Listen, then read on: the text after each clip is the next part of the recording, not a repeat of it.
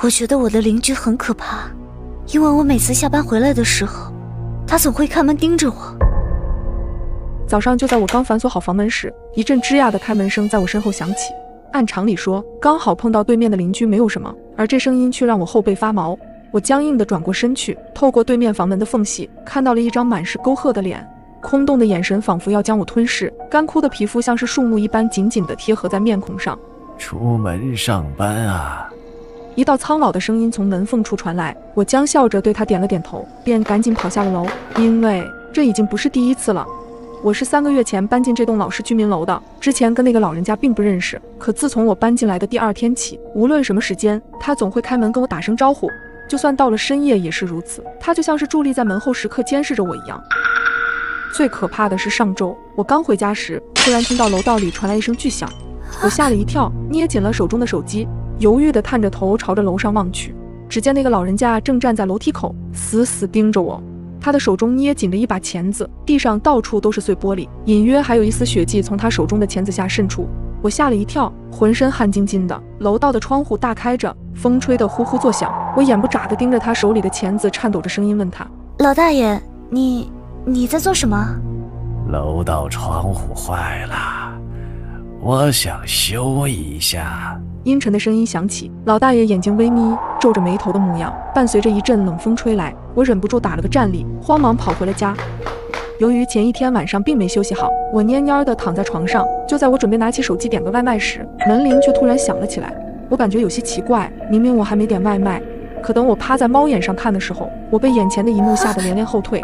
是那个老大爷，他的手上好像还拿着什么东西，白花花的。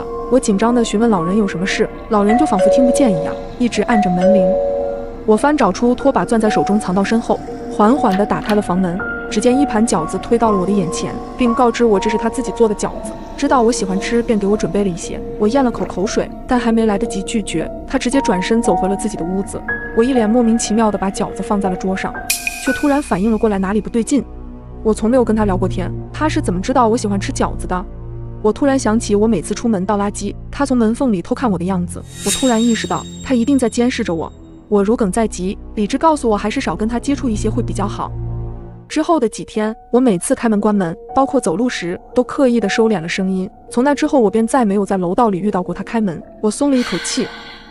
直到后面有一天晚上回家，刚好撞见老大爷家的房门大开着，他倚在门口大口的喘着气。大爷，您没事吧？我犹豫着开口，原本有些害怕他的情绪在这一刻也抛之脑后。我看着他面色苍白，状态十分不对劲，赶忙拨打了电话，把老人送进了医院。后来我从居委会的口中得知，老人的儿子因为在国外工作已经很久没回来了，幸亏我把他及时送医，并没有大碍。而之前老人奇怪的举动，是因为阿尔茨海默症，他自己却不知道。而我正与他孙女的年龄相仿，由于前一天晚上对于吓到我表示歉意，这才特地包了他孙女最爱吃的饺子递给我。听完后，我隐约觉得心里有些难受，忽然觉得他没那么奇怪了，他只是害怕孤单。即使发生恶性杀人案，凶手在逃中，请市民关好门窗，不要外出。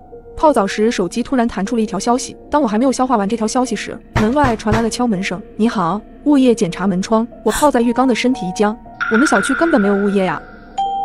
我并没有回复，急忙穿好衣服，谨慎起见，我趴在了猫眼处。门外是一个戴着口罩的保安，正埋头在本子上写着什么。我心中的恐惧逐渐升温，回想起半年前业主们和物业的争执，现在突然上门来检查，这太奇怪了。正在我犹豫时，猫眼外突然一片漆黑，是楼道里的灯熄了吗？但通常情况下，安全出口的绿色指示灯应该还会亮着。这时，一阵微弱却清晰的呼吸声透过门缝传来，刺入我的耳中，让我全身的毛发都竖立了起来。恐怖的认知在我脑海中闪现：这不是楼道的灯坏了，而是有人，有人把脸紧贴在我的猫眼上。我捂着嘴，强忍着惊叫，任由恐惧在心头蔓延。此刻，我不敢有任何大动作，更不能发出任何声响。随后，那人又用耳朵趴在门上听了一会儿，见我屋内实在没动静，便转身去敲了对面的房门。你好，物业检查门窗。他的声音回荡在空落落的楼梯间。我是五零一，对面是五零二，住着一个单身宅男，三十来岁，可能是个 IT 工作者或游戏主播。他总是默默无闻，看起来有些社恐，可能跟我一样是个 I 人。保安又敲了几下门，没一会儿，一个穿着睡衣、头发凌乱的男人就开了门。两人在门口说了什么，随后物业就被对面小哥领进了门。砰的一声，房门关上，楼道又恢复了宁静。这似乎并没有什么异常。难道这个保安真的是物业派来的？我翻看着业主群，寻找可能错过的消息，但群里静悄悄的，也没有任何通知，这不禁还是让我感到一阵不安。这时，手机提示有人添加我的好友，是五零二，消息备注是：你好，我是住在你对面五零二的，请问晚上有物业去你家检查门窗吗？什么情况？物业刚进他家，他却在问我。我迟疑着，并没有通过好友请求，转而发消息给楼下的四零一的女大学生，因为之前拿错快递有点小误会，所以我们才加了好友。妹妹，我想问下，今晚有物业上门检查门窗吗？我握着手机，有些紧张地等待着对方的回复。下一秒，手机震动了两下，是四零一发来的消息。有的，刚检查完不久。我暗暗松了一口气，看来是被今天的新闻影响，有一点被害妄想症。我苦笑着揉了揉头，眼睛再次扫到手机里的消息。这一眼，我总觉得哪里不对劲，但又说不上来。我下意识地抬头看了看墙面上的钟，十点三十。物业进去五零二将近二十分钟了，检查门窗需要这么久吗？我忍不住又给四零一发了条消息：物业检查门窗大概需要花多长时间呢？大约半小时。简短的五个字，看得我心里直发慌。我终于发现哪里不对劲了，颤抖着手翻找着之前的聊天记录。四零一的妹妹是个表情包控，可这次的两条信息简短干练。不仅没有表情包，甚至连标点符号都没有。与此同时，楼道里突然传来开门声，我赶紧趴到门口一看，物业的人出来了。他把门关上，在本子上记录了几笔，然后转身离开。紧接着传来电梯开门又关门的声音，我赶紧看了看时间，十点三十五。物业从进去到出来，总共二十九分钟，和四零一说的差不多。难不成真是我想多了？楼道的灯再次熄灭，周围陷入一片黑暗。我静静地站了一会儿，确认无异状后，终是松了一口气。夜晚的小区很安静，只有偶尔的猫叫声。但想到晚上弹出的新闻，我瞌睡全无。我端着牛奶坐在阳台。我记得单元门口是道铁门，出入需刷卡，而且铁门开关的声音很大。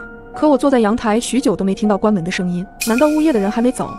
据我所知，六楼是没住人的，且就算他从六楼敲一圈门再下到一楼，也花不了多长时间。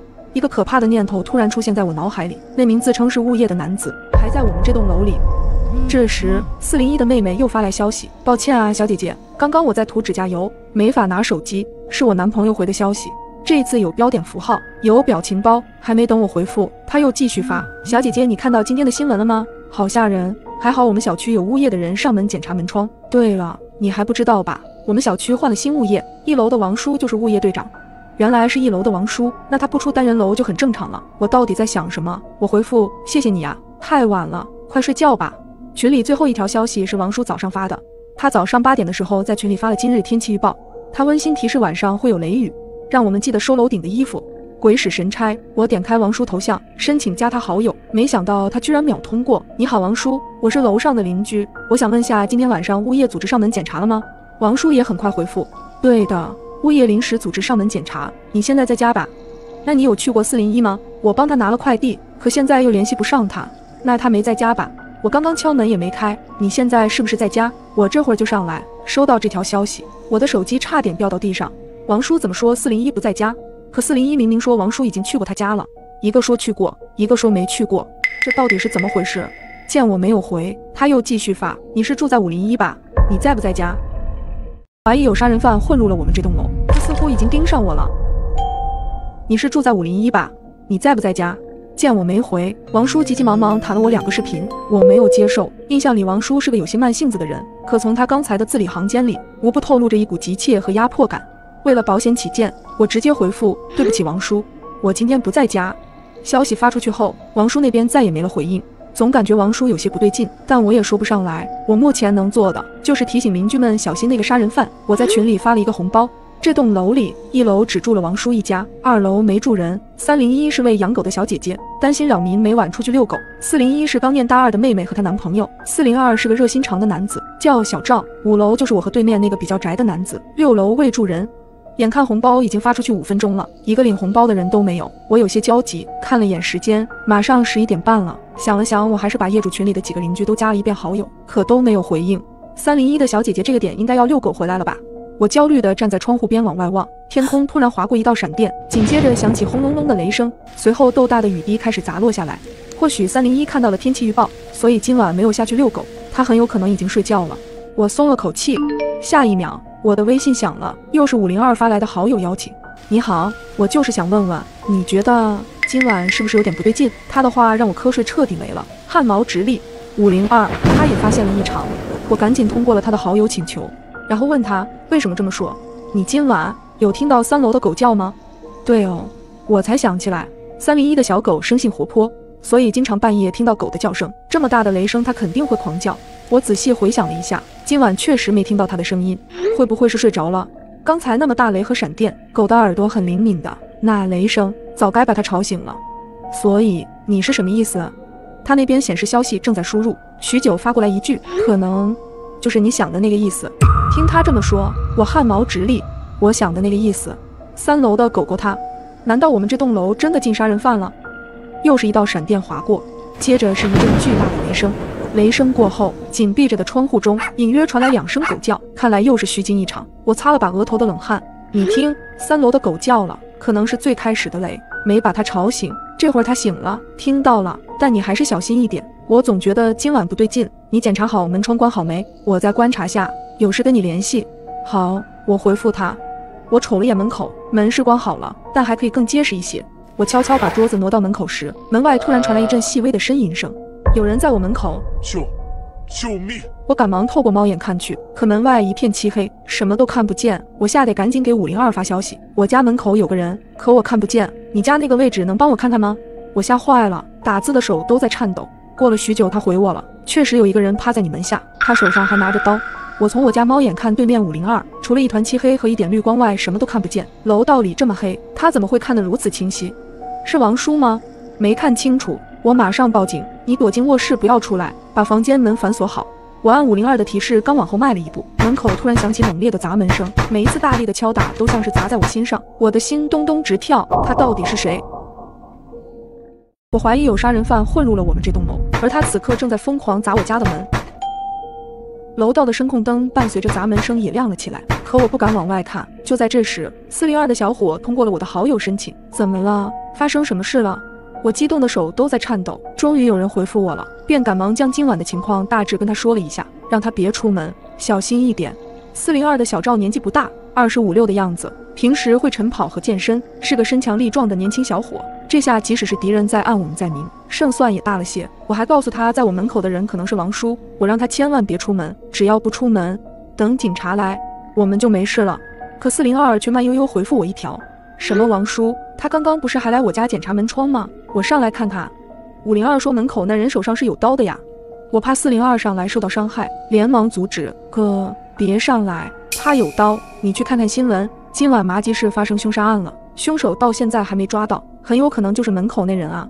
那有点刺激，这不是行走的一等功吗？你放心，妹子，我练过的。他有刀，我也有啊，我还正当防卫呢。你别怕。你刚刚不是说五零二也在家吗？你让他帮我吸引一下注意，我绝对能制服他。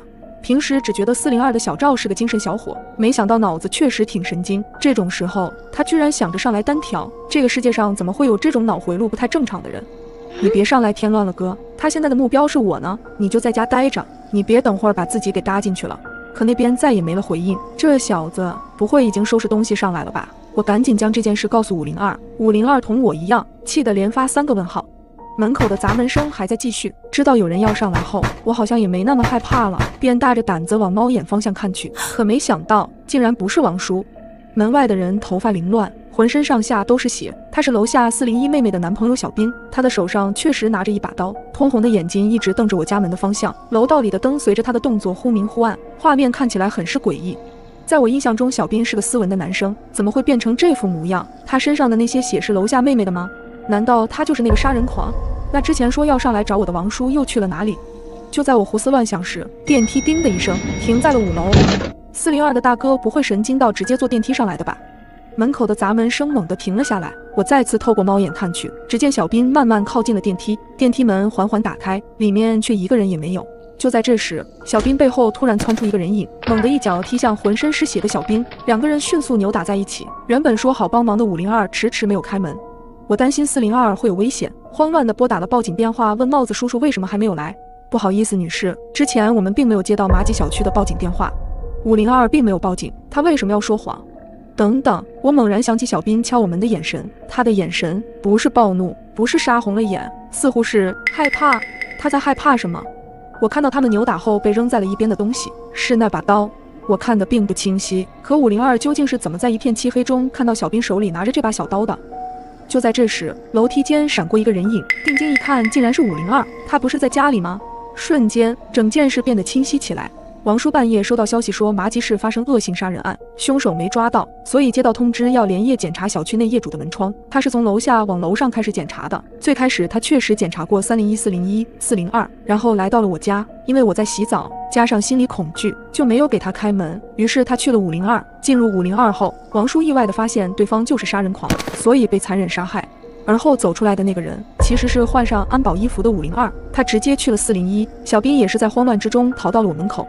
我猛地冲出房门，大喊道：“我们都被骗了，五零二才是凶手！”声音一出，在他们都愣在原地的片刻，我趁机将手中的辣椒水直接喷向了五零二。就在五零二看不清的时候，四零二和小兵也缓过神来，跑上前将五零二制服。没过多久，帽子叔叔就赶了过来。看到帽子叔叔，想到这一晚的惊心动魄，我终于松了一口气。我根本不敢想，那晚的猫叫身后到底藏着什么。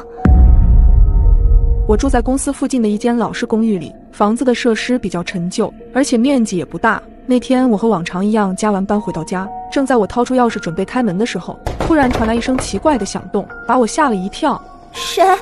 我下意识地问了一句，然而回答我的却是一片寂静。因为我住在公寓的顶层，再多上半层楼就是这座公寓的天台了，上面堆着很多杂物，按理说应该不会有人在那里。可这声音显然是从上面传过来的，映着昏暗的灯光，我朝天台走了过去。当我靠近时，突然看到两颗幽蓝色的珠子在黑暗中晃动，我吓得差点喊出来。可下一秒，一个毛茸茸的小家伙伴随着喵呜的叫声走了出来。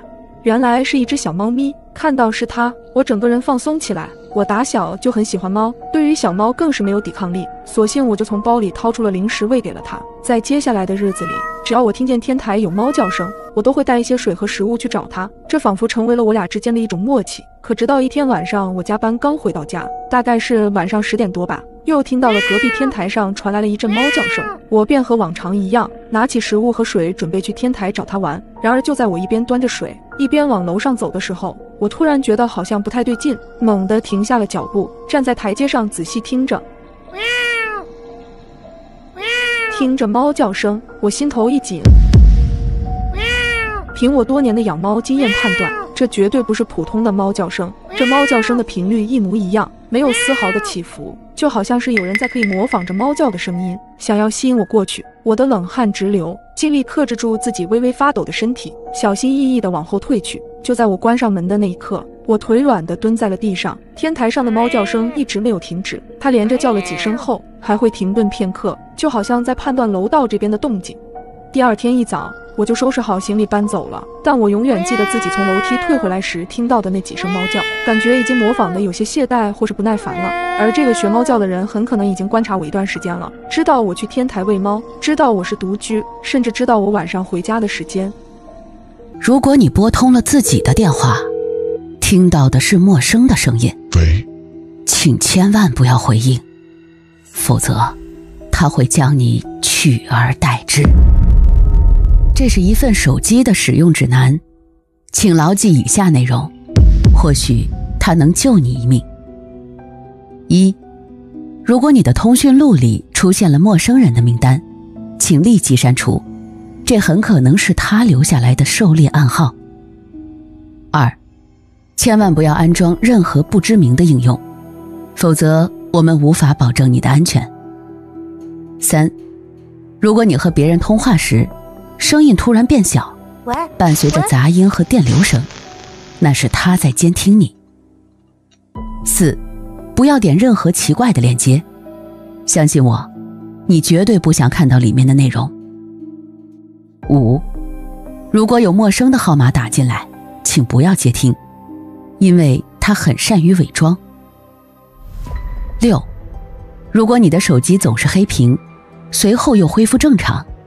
这很可能是他在观察你，在他眼里，你一览无余。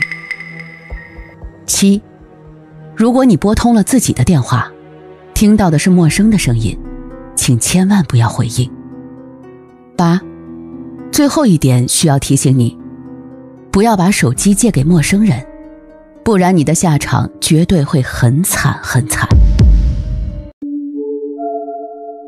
这是一段我在加州留学时候的经历。那天我和男友一拍即合，准备去山上露营。我们到地方的时候已经是傍晚了，升起篝火后，我们就坐在帐篷外边，一边喝着酒，一边吃着披萨。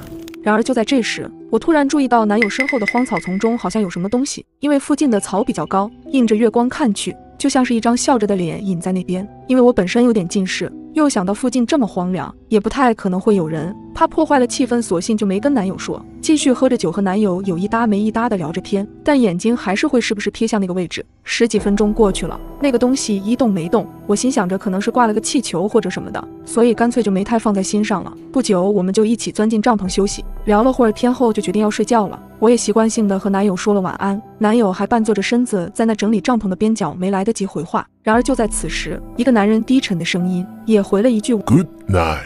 我确定我没有听错，那个声音就在我旁边，是从帐篷外传进来的。我吓得一个机灵，眼睛看向了男友，男友也愣在原地，脸色苍白的看着我，随后就用口语示意我，那意思是你听见了吗？我也惊恐的马上点头，连大气都不敢出，心砰砰直跳。我突然反应了过来，刚才在外面绝对不是近视眼看花了，而是在黑暗中一直有个人在盯着我们。我一把就拉住了要出去的男友，眼神示意说别出去。直觉告诉我，外面那个人肯定不正常。我怕男友受到伤害，我俩谁也没说话，就那么静静地坐在帐篷里边，支着耳朵听外边的动静。外边除了呼呼的风声，就再也没有其他动静了。坐了十几分钟之后，男友终于熬不住了，大叫了一声：“说谁呀？”然后猛地起身出去了。我也紧随其后，发现外边空空荡荡，就不知道那个人是走了还是继续又躲在了草丛里边。男友拉着我说：“这个地方不能待了。”随后我俩带上手机和重要的东西，连帐篷啥的都不敢收了，直接就上了车。男友开车的时候还紧张的跟我确定是不是真的听到了那个声音。我忍不住透过后视镜望了过去，黑暗中那个人就站在车后不远的地方盯着我们。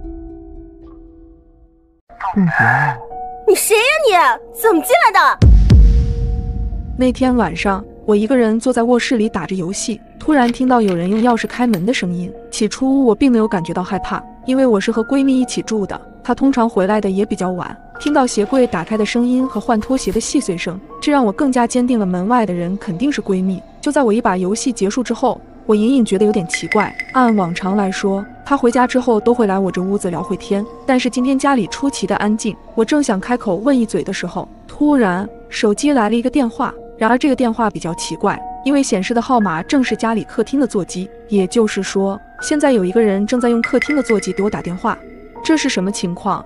想着有可能是闺蜜的恶作剧，我下意识的就按下了接通键。但就在电话接通后，话筒里和客厅同时传来了一个陌生男人的声音：“姐姐，姐姐，姐姐。”我的脑袋轰的一下炸开了，他是谁？为什么会进到我家里？我虽然感到非常的惊悚，但是又不知道从哪里滋生出一种勇气和愤怒感，壮着胆子对手机吼道：“你谁呀？你怎么进来的？”可能是他被我的话镇住了。接着门外传来一阵仓皇的脚步声，随后就是开门的声音。外面很快陷入了一片寂静，我浑身止不住的颤抖，犹豫了许久。我深吸一口气，缓缓地打开了卧室的门。我在客厅里巡视了一圈，确实没有任何人的身影。我终是松了一口气，快步走到大门口，准备将门反锁。然而靠近了，我才发现一只骨节分明、粗糙的大手正握在我家的门框上。我死死地捂住了嘴巴，生怕自己吓得喊出声来。这人竟然没有走，他一直守在门口，等待着我走出去。我咬紧嘴唇，下一秒。用力地踹了一脚房门，只听门外那人一声惨叫，我用尽全力将门反锁住。等回过神来时，才发现自己早已经泪流满面。门外的男人似乎并不甘心，用力地拍打着房门，他嘴里还不干不净地骂着，可我却不敢再发出任何声音。我翻找着手机准备报警，随后便死死地抵在了门上，甚至我更没有勇气去看猫眼。砸门声在寂静的夜里显得格外刺耳。我捏紧手机，祈祷着帽子叔叔能快点来。谁呀？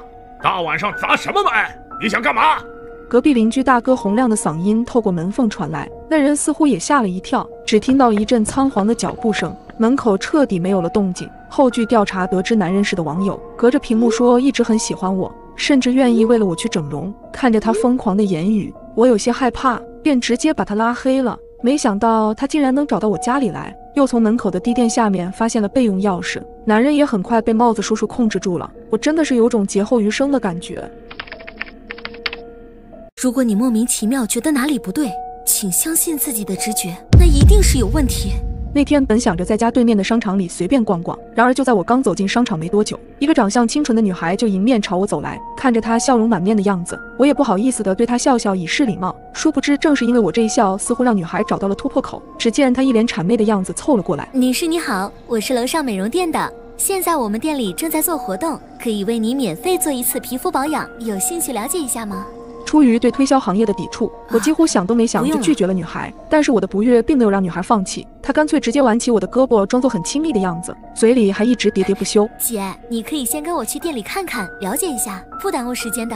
虽然女孩的举动让我心生厌恶，但我还是尽量保持着微笑，耐心地告诉她我不需要。或许是感受到了我的不悦，女孩突然转过脸，楚楚可怜地对我说：“姐。”我刚毕业，好不容易才找到这份工作，你就当帮帮我吧。听他这么一说，我收回了正要迈开的脚步，看着面前这个对陌生人低声下气的小女孩，而且在这人来人往的商场里，到处都有监控。想到这里，我心里一软，便跟着她走到了电梯前。在等待电梯的过程中，我突然有了一种不安的感觉，鬼使神差地问了女孩一个问题：你们家店？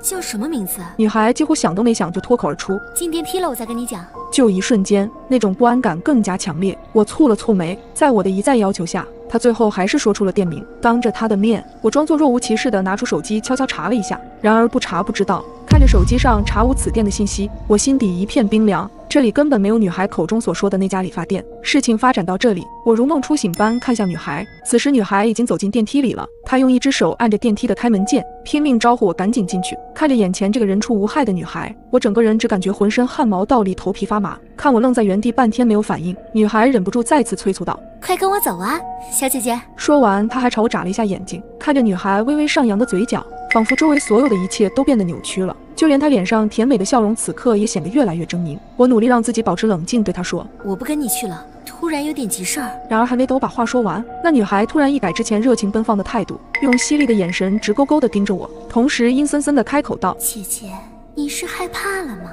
这里可是商场。”说完，女孩竟然放下了按着开门键的手，看着缓缓关上的电梯门，一时间我根本无法从深深的恐惧中解脱出来。只要一想到女孩最后那抹意味深长的笑容，我的双手就会不自觉地颤抖起来。如果不是因为我多嘴问了那个问题，如果当时我没有多个心眼用手机查信息，如果我就这么跟她进了电梯，这么多的如果加起来让我细思极恐。我们在任何时候都要以恶意去揣测陌生人，不是善良不值钱，而是人心难猜测。我居然被绑架了！手脚传来的疼痛感 让我突然清醒了过来。我发现自己正身处于一个陌生的房间，又臭又脏，斑驳泛黄的墙面上有许多暗红色的血迹。我吞了吞口水，下意识的想要站起来逃跑，却发现我的手脚都被绳子死死的捆住。而这一切都是因为那一片卫生巾。哎呦喂！快看看这个小瞎子，大姨妈来了！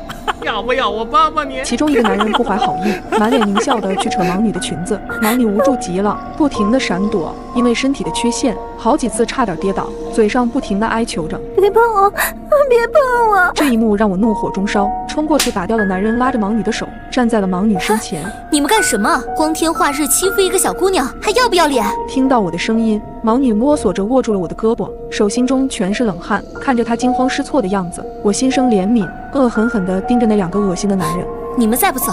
我就报警了！我举起了手中的手机，两人不服气的冷哼一声，随即便转头离开了。姐姐，你能带我去卫生间换个卫生巾吗？我我没带。盲女似乎意识到了自己已经安全，带着哭腔说道：“别怕，我带你去。”我扶着盲女向卫生间走去，盲女紧紧拽着我的手，生怕我会反悔一般。姐姐，你真是个好人。走进卫生间，我赶忙把包里的备用卫生巾递给了她。还愣着做什么？